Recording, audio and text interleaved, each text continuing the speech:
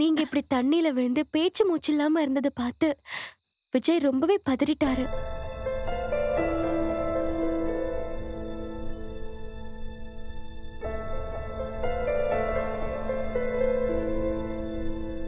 அவர்தான் உங்களுக்கு மூச்சு காத்து கொடுத்து உங்களை காப்பாத்தினாரு.